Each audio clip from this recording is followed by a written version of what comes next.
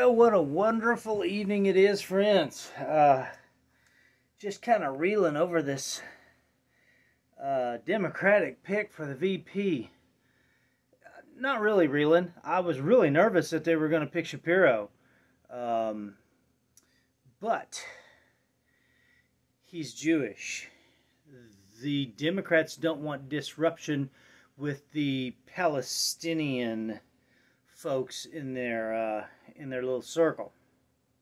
See, you, I'm serious. I'm telling you. So, uh, if you think about it, Tim Walz was uh, a uh, what would you call that? Racist pick. That's the their reasoning anyway. But hey, whatever. It's their pick. Now, uh, Shapiro is is more moderate, uh, more uh, middle of the road than Walz. Uh, I don't know if you've done any research, but uh, this guy, uh, I, I, guess we could go in chronological order. So um, he started out. Uh, he, he's a teacher, uh, and he he actually I think probably right out of uh, high school or in during high school possibly joined the National Guard which is fine. I commend him for that service. I respect that service. I really, really do.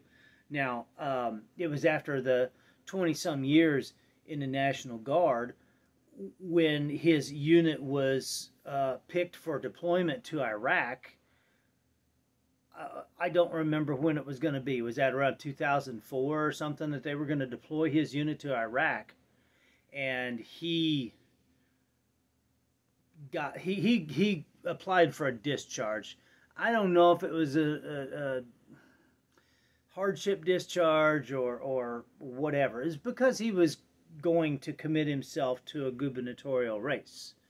Um, there's other ways to do that. You can remain enlisted, and uh, you can run that race, run that campaign and not be deployed. There's all kinds of ways to go around it.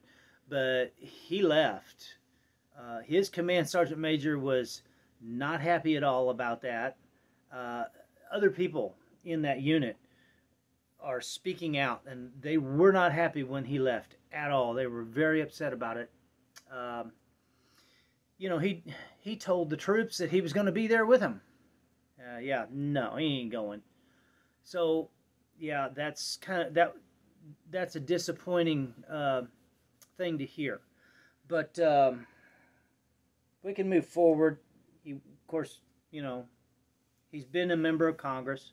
Much respect for that. Um, so I don't know. Been a few years ago, ten years ago, maybe he got popped for DUI. He was drunk driving, whatever. Tried to get out of it. Tried to lie his way out of it. Hey, it happens, right? Now you listen to the guy talk. Really nice guy. Uh, real easy to listen to. Down to earth. You know, just like a conversation like this, right? And he talks about, oh, be good to your neighbor and be nice and everything. Uh, but then 2020 popped around. What, what was it?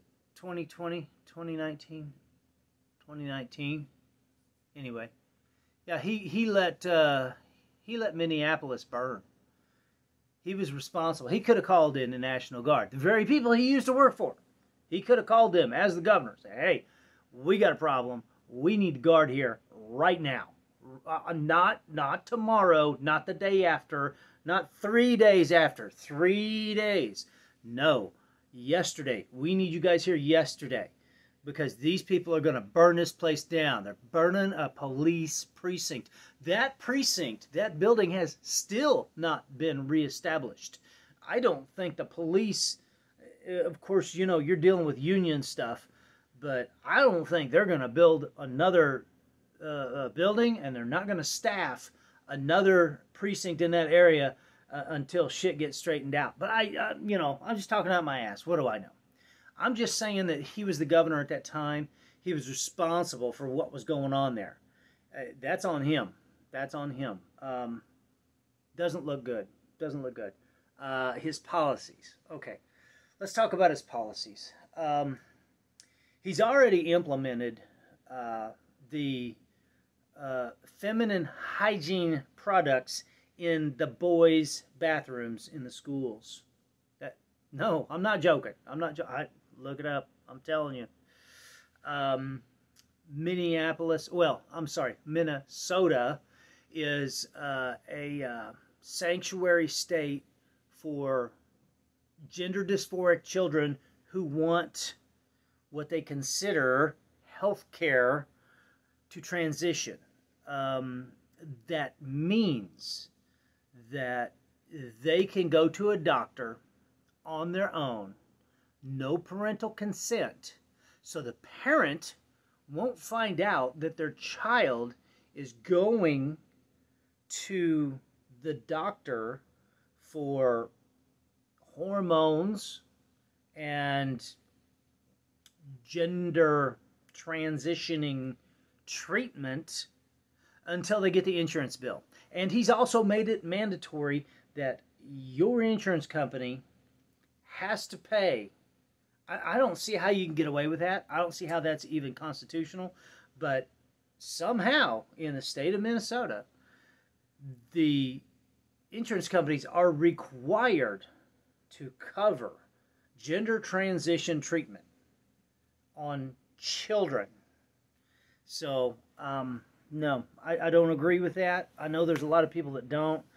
You know, it was a thing a couple years ago. Oh, it was a big thing and all this other stuff. Now, okay, so if you're part of the LGBT community, uh, I don't disrespect that, but um, the transitioning uh, as a minor, minor trans, minors transitioning is bad, and you got to understand that that a lot of these kids, we're talking uh, 11, 12, 13, 14, 15, um, way too young to be making those kind of decisions. Listen, you're under 18, you can't take somebody to court. You can't sue somebody if you're under 18. You can't you can't vote if you're under 18. You can't buy alcohol if you're under 21. You Used to be 18 in some states. I'm telling you, dangerous policies, dangerous policies. Um, do I have anything else that, that I have scribbled down here? Um, just that, you know, uh, the feminine hygiene products and, and the sanctuary state stuff and also the uh, uh, illegal immigrants. It's a sanctuary location. They've been flying illegal immigrants into our country. If you don't know yet, look up Omni Air.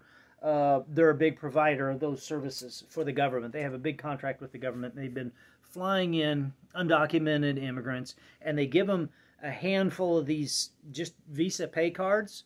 That's we're talking stacks of them uh, and and they give them to them. I'm not sure if that's funded through the churches or through the government, but the, these people are providing them with the means to come here and and survive. I don't know what the reasoning is. I honest to goodness don't know what the reasoning is, but um, it, it, it's providing an unstable environment, I guess you could say. I mean, we've all talked about, you know, the 10% of every population being evil people, and now we have 2 million of these evil people in our country, and we, we have to really look at that. Well, like, uh, they're flying them into Topeka, uh, into the airfield on the south side of Topeka. They're flying them in directly here. They don't cross the border, they don't swim across the damn uh, river. No, they get on a plane in Peru or uh, Venezuela or Colombia, and they fly straight here, straight to your state, to your city.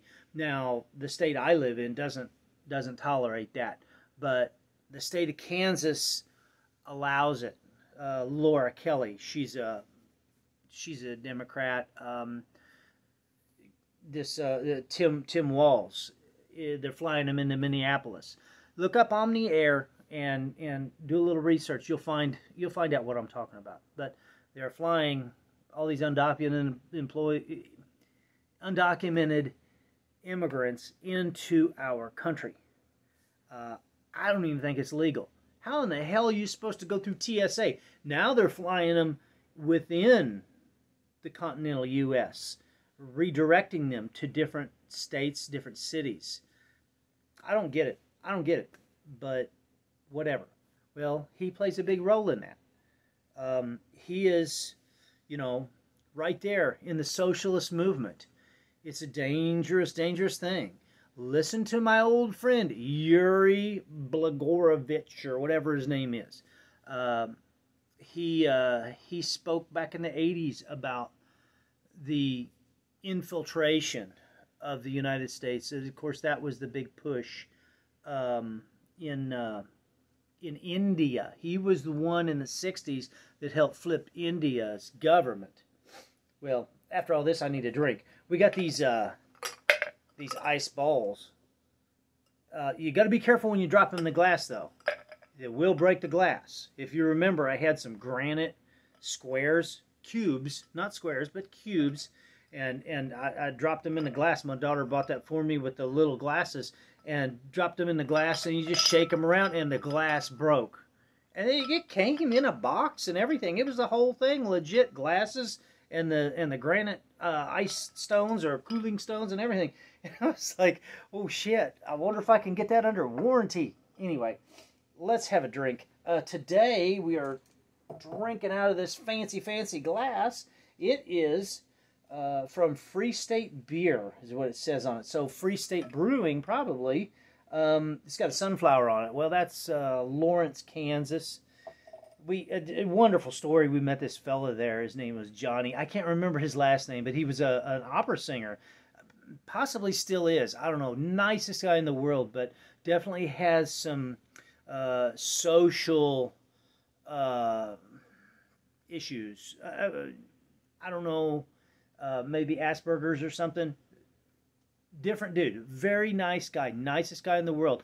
We we went back to uh, Lawrence several years later had to have been five years, and uh, everybody just the four of us. So it, it, we were it, we were all talking. What if what happens if we run into Johnny again? Oh, that would be a hoot. And we went to Texas Roadhouse in uh, in Lawrence on the south side of town. We're sitting sitting there waiting on our dinner and drinks and whatever. And I look over at the bar and they were doing the dance and stuff, right? And I see this guy over there clapping, kind of out of sync and laughing and just having a, a jolly time. And I looked over there and I said, I'm, I'm telling you, that's fucking Johnny. That's Johnny. And they're like, maybe it is. Maybe it is. Go ask him. Go ask him. I was like, okay, I'll go ask. And I walked up there and I had the picture on my phone ready. I said, are you Johnny? And he says, Well, yes, yes, I'm, I'm, I'm Johnny. So nice to meet you, blah, blah, blah, blah, blah. And I said, Do you remember this picture? Oh my gosh, that was just before I went to Frankfurt. I remember that. And uh, oh, just a wonderful, wonderful dude. Anyway, yeah, Free State Brewing. Uh, beer's okay. I don't know. I'm not much of a beer drinker. That's why tonight I'm going to have some of this red eye hot cinnamon whiskey with some Pepsi. I, I tried having some Pepsi with uh, cinnamon Pepsi with some whiskey, but I don't remember. I think that was bourbon. This is a corn whiskey, straight up corn whiskey, and I don't even know. Don't even know. Uh, oh boy, Grand River, Carbondale, Illinois. So, if you've ever been to Carbondale, Illinois, you quite possibly have been on the uh, Illinois Wine Trail. Lots of fun.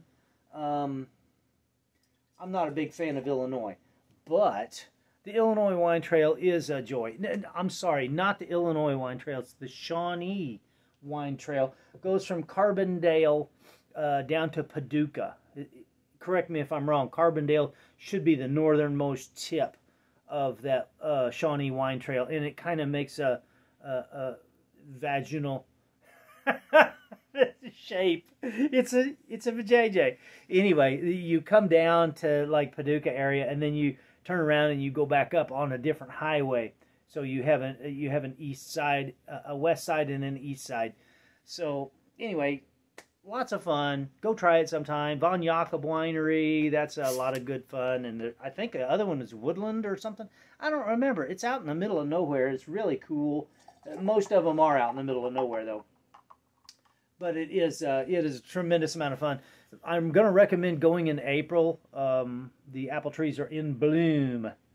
So anyway, yeah, good times in Illinois. Even though it's a leftist state, it's still I, I find places where I can enjoy myself. Uh, just like uh, you know, Georgia is not a leftist state, but Atlanta is growing, and it's weird.